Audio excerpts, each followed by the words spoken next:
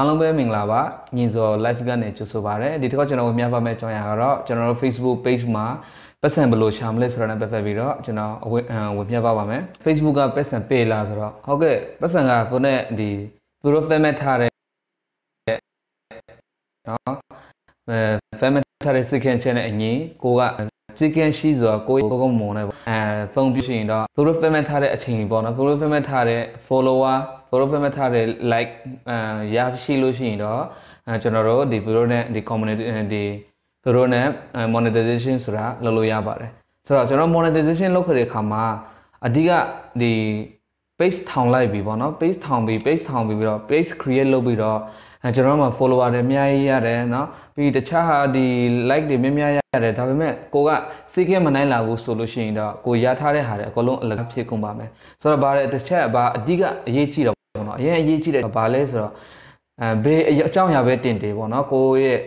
အကြောင်းအရာကိုဖန်တီးထားတဲ့ဒီ authentic လို့ခေါ်တဲ့တကယ်စင်စစ်ပေါ့နော်တကယ်အစ်စ် ကိုယ့်ရဲ့ကိုယ်ပိုင်ဖြည့်ဖို့ကပို့ပြီးတော့အရေးကြီးပါတယ်ဒီကိုသုံးလို့ရတဲ့ website တွေအများကြီးရှိပါတယ်เนาะဆိုတော့ဖရိုရဲ့ဒီဓာတ်ပုံပဲဖြစ်ဖြစ်ဗီဒီယိုဖြစ်ဖြစ်ပချင်းတွေဖြစ်ဖြစ်ပေါ့เนาะအဲ့ဒီဖုန်းတဲ့အခါမှာကိုကအရင်သတိထားရပါတယ်ဆိုတော့အဲ့လိုမျိုးကိုကဒီအာ like တွေ page တွေများရတာလေဒီခါကိုက page က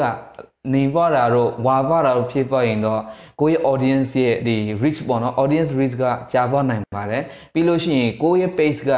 ဒီ monetization လုပ်ဖို့အတွက်ပေါ့နော်တခြားအများကြီးရှိတယ်ပေါ့နော်ဥပမာဆိုပါစို့နော် instant article ရှိမယ်ပြီးလို့ရှိရင် branded content ရှိမယ်ပြီးလို့ရှိရင်ကျွန်တော်တို့ဒီတခြားပေါ့နော်အများကြီးရှိတယ်ဆိုတော့အဲ့ဒီမျိုးရဖို့အတွက်ကတော့ကျွန်တော်တို့ဘာလုပ်မလဲဆိုတော့ကိုယ့်ရဲ့အာဒီအချက်လက်ပေါ့နော်ကိုယ့်ရဲ့ page ကတော့ step by step ပေါ့နော် ကိုကဒီဒါဆိုပါစို့ပထမဆုံးအနေနဲ့ကျွန်တော် instant article ရတယ် instant article ကို set up လုပ်ဖို့အတွက်ဘာတွေလိုမလဲဆိုတော့ကျွန်တော်တို့ဆိုပါစို့ဒီပတ်စံရဖို့အတွက်ပေါ့နော် Facebook နဲ့ပတ်စံရဖို့အတွက်ဘာတွေလိုမလဲဆိုတော့ကျွန်တော်ပထမဆုံး website လိုပါတယ် website website နဲ့ကျွန်တော်တို့ Facebook နဲ့ link လုပ်တာပေါ့နော် link လုပ်ပြီးတော့ကျွန်တော်တို့ကဝင်ဝင်ရှာတာဖြစ်ပါတယ် okay Facebook page အဲပတ်စံရှာပြီဆိုလို့ရှိရင်တော့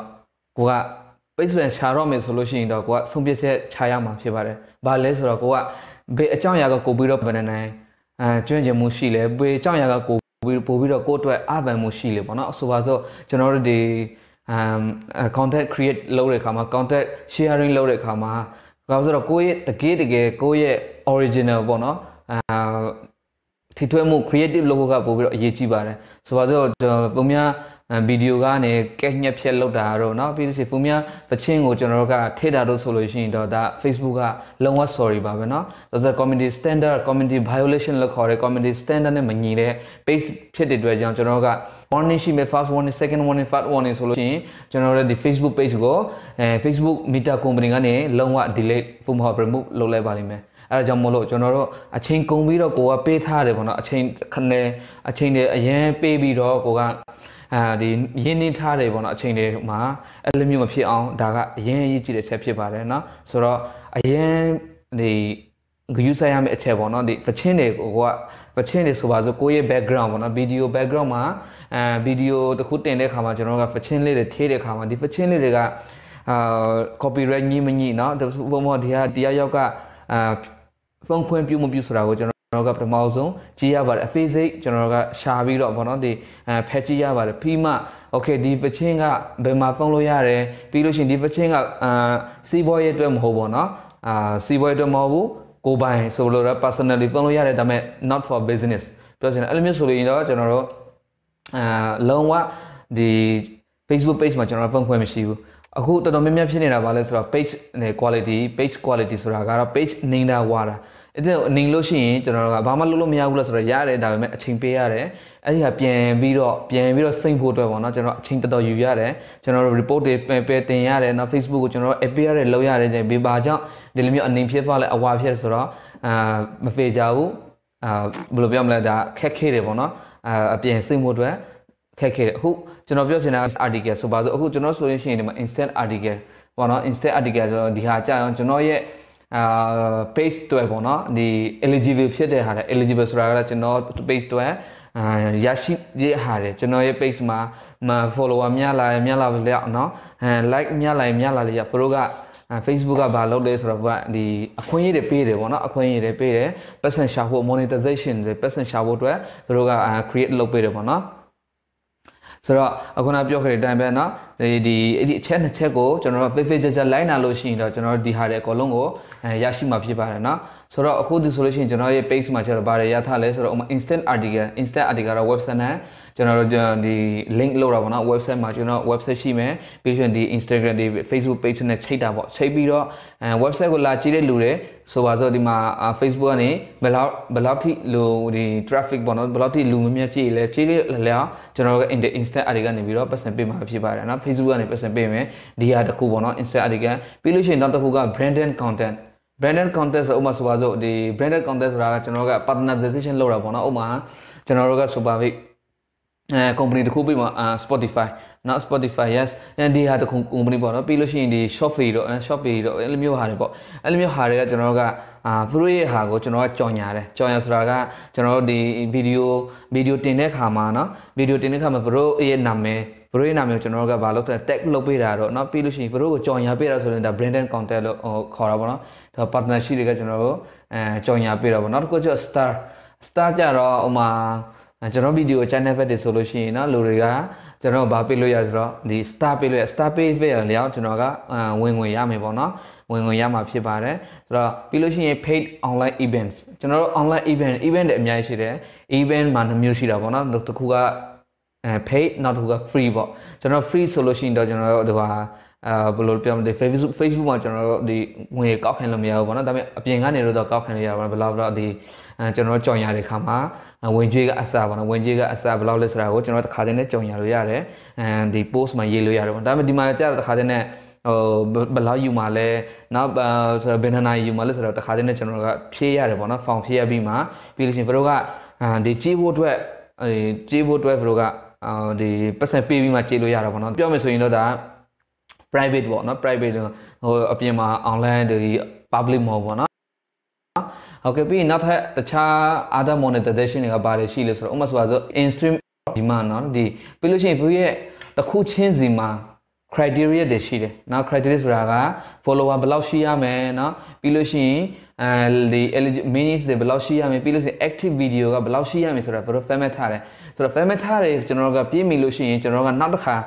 အခွင့်အရေးနောက်တစ်ခုရတာပေါ့နော်ဥပဆိုပါဆိုဒီနောက်တစ်ခုဝင်ငွေအတွက်ရတာပေါ့ပြီးနောက်တစ်ခုကျတော့ subscription လို့ခေါ်တာပေါ့နော်ကျွန်တော်ဆိုရင်အဲ YouTube မှာဆို subscribe လုပ်မှကျွန်တော်က subscriber တွေများလာများများများများလာမှကျွန်တော်ကဝင်ငွေရတယ်ပေါ့နော် monetization လုပ်လို့ရတယ်ဥပမာဆိုလို့ရှိရင် YouTube မှာဆိုရင်1000ပြည့်မှကျွန်တော်က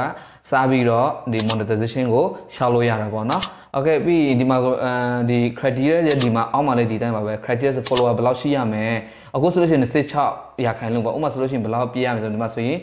နောက်ပေါ့ဒီမှာတစ်ပေါင်းပေါ့โอเคတစ်ပေါင်း follower ရှိရမယ်ပြီးလို့ရှိရင်ဒီမှာ return viewer viewer ဆိုတာဥပမာကြည့် ကြည့်နေတဲ့ view viewer တွေကဘုကပြန်ပြီးတော့လာကြည့်တဲ့ viewer ဘယ်လောက်တရှိရမလဲဆိုတော့နေရဥပမာဒီဟာကိုတရားရခိုင်လုံးတော့ရှိရမယ်အဲ့လိုမျိုးပေါ့နော်တခုချင်းစီကသူရဲ့ format ထားတဲ့ sensing ကျန်တော့နောက်ပြီးလို့ရှိရင် criteria ပေါ့အဓိကတော့ဘယ်လိုဖြည့်ရမယ်ဘယ်လိုပြည့်ရမယ်နောက်ဘယ်လိုဘယ်လောက်ထိရရမယ်ဆိုတာရောက်မှကျွန်တော်ဒီဟာတွေဝင်ဝင်ရမယ်ဆိုတာကိုဘယ်လို format ထားတာဖြစ်ပါဆိုတော့ Facebook မှာကတော့ဒီပြောမယ်ဆိုရင်တော့ YouTube tab เนาะ YouTube tab ပို့ပြီးတော့အာ user တွေများတယ်ပြီးလို့ရှိရင် တစ်ခုချင်းစီပေါ့နော်တစ်ခုပြီးတစ်ခုတစ်ခုပြီးတစ်ခုကျွန်တော်တို့ကဒီအာ monetization တွေအများကြီးရှိတယ်ပေါ့နော်ဆိုပါစို့နောက်တစ်ခုဆိုလို့ရှိရင် in streams ads for life ဥပမာဆိုရင် live လွှင့်ပြီးတော့လည်းကျွန်တော်တို့ percent ရှာလို့ရတယ်နော်ဥပမာဆိုလို့ရှိရင်ဒီမှာတစ်ပေါင်းပေါ့နော် follower တစ်ပေါင်းရှိရမယ်အဲအစားအဖြစ်ပေါ့နော်ဒါပြီးလို့ရှိရင် broadcast in ဒါတခုပေါ့နော်ဒါဒါအများကြီး ရှိတယ်ပေါ့နော်အဲ့လိုမျိုးကျွန်တော်က business ရှာလို့ရပါတယ်အခုပြီးဒါကြတော့ကျွန်တော် page မှာမြင်တဲ့အရာတွေပေါ့နော်ဆိုတော့နောက်ထပ်အခွင့်အရေးတွေရကောင်းရနိုင်လာလိမ့်မယ်ပေါ့နော်ဘာလို့ဆိုတော့ကျွန်တော်ရဲ့အဲ page မှာဘယ်လောက်ထိ follower ရှိလဲဆိုတာနဲ့ပုံမှာပဲမူတည်ပါတယ်ဆိုတော့ဒီဒီလိုမျိုးအရာတွေအကုန်လုံးလောလောပြီးတော့ပေါ့နော်ဒါပေမဲ့တခုရှိတာကတော့စိတ်တက်မကြဘူးပေါ့နော်ကျွန်တော်ပထမဆုံးလုပ်တဲ့အခါမှာ page တွေ page က အာ like like နေတာရှိမယ် follower နေတာရှိမယ်ဒါပေမဲ့ကိုကအာအချိန်အချိန်တစ်ခုပေါ့နော်အတိုင်းအတာတစ်ခုထိကိုအချိန်ပေးပြီးတော့လှုပ်လို့ရှိရင်တော့အာအောင်မြင်လာပါလိမ့်မယ်ဘာလို့ဆိုတော့ဒီဒီ Facebook ဆိုမှဒီ online digital marketing လို့ခေါ်တာပေါ့နော်ဒီ digital marketing လုပ်တဲ့ခါမှာကျွန်တော်တို့ကဖိခံဖို့လိုတာပါတယ်အစင်စစ် မဖြစ်ကျွန်တော်တို့ဗီဒီယိုတစ်ခုတင်ပြီးတော့เนาะဒီတင်ပြီးတော့ကျွန်တော်ပြီးရောဆိုပြီးတော့မနေလို့မရပါဘူးကိုရဲ့ audience ကိုပေါ့နော်တစ်ခုပြီးတစ်ခုတစ်ခုပြီးတစ်ခုဆိုပါစို့အာတပည့်မှာဘယ်လောက်တင်မလဲပေါ့နော်ဘယ်ဗီဒီယိုဘယ်လောက်ဘယ်နှခုလောက်တင်မလဲเนาะဗီဒီယိုဘယ်နှခုလောက်တင်မလဲဆိုတာကိုကိုက format ထားဖို့လိုပါတယ်ဟုတ်ကဲ့โอเคပါပြီးတော့နောက်တစ်ခုနောက်တစ်ခုပါလဲဆိုတော့အခုအဲနောက်တစ်ခုပါ လဲဆိုတော့ကျွန်တော်တို့အဲသတိထားရမယ့်အချက်ကတော့အခုနောက်ပြောရတဲ့ page ကိုပေါ့နော် page ကိုကောင်းမွန်နဲ့အဲထင်ပြီးမလို့တယ်နော်လုတ်ပဲနာကိုလုံးမယ်မလုတ်ပဲနာကိုလုံးဝမလုပ်ရပါဘူးနော်ကိုရဲ့ page က audience များလာအောင်ပေါ့နော်ကိုရဲ့ page audience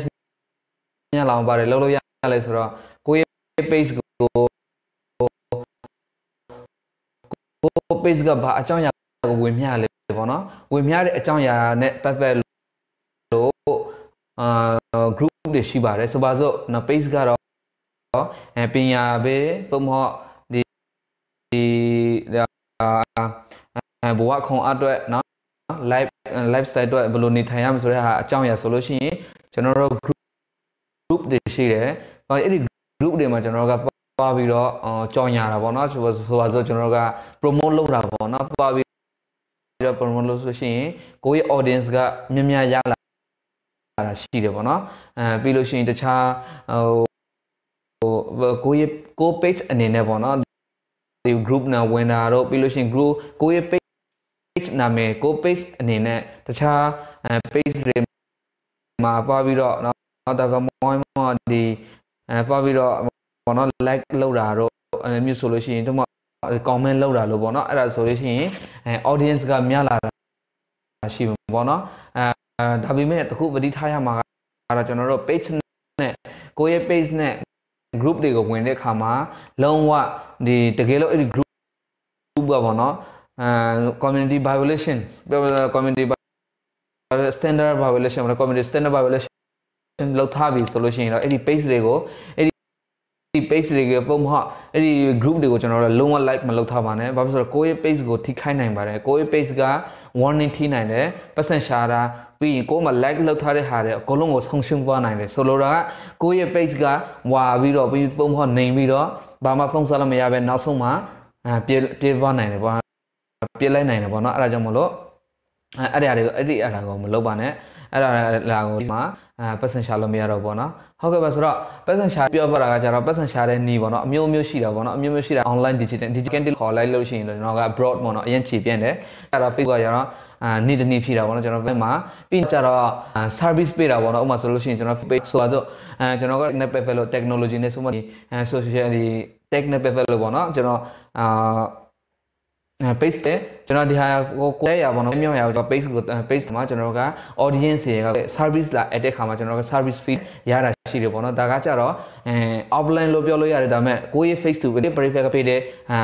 ဒီကိုရဲ့ private ကပေးတဲ့ service ပေါ့နော် service ကို private ကကိုကိုယုံကြည်လို့အဲ service လာ add တဲ့အဲ fee ပေါ့နော်ဒီတခုဖြစ်တယ်နောက်တစ်ခုကြတော့ခုနခဲ့တဲ့ဟာကြတော့ဒီ article တော့ branding တော့ကြတော့ဒါက Facebook ကပေးတဲ့ဟာပါဆိုတော့ okay ပြီးလို့ရှိရင်ကိုကြိုက်တဲ့ဆိုပါတော့ lifestyle ဆို lifestyle ပြီးလို့ရှိရင် serve serve serve ဆိုလို့ရှိရင်လုံးလုံးရတယ်ဆိုတော့ဒါပါအဲဒီ service တော့ပေးလို့မရဘူးเนาะဒါပေမဲ့ but help ပါမလဲဆိုတော့အသေးစိတ်เนาะအသေးစိတ်ဒီ book booking လုပ်ပြီးတော့ဗောနော်ဟို face to face ဆိုတာတဲ့ဒီ online မှာနေတဲ့အချိန်မှာကိုက live ကြည့်တာတော့အလုပ်ရတာဗောနော်ပြီးရင်အရေးကြီးတဲ့အချက်เนาะအရေးကြီးတဲ့အချက်ကတော့လုံးဘာလဲဆိုတော့ကျွန်တော်တို့ဒီလိုလုပ်ဖို့အတွက်ပတ်စံဝင်ငွေရဖို့အတွက် Facebook ကျွန်တော်တို့မြန်မာနိုင်ငံပါဘူးဆိုတာကိုအဲပြောချင်ပါတယ် partner monitor လုပ်တဲ့အခါမှာ အဲ YouTube လေးမရဘူးရှိရင်အဲဒီ Facebook ပြီးတခြား application တွေလုံးဝ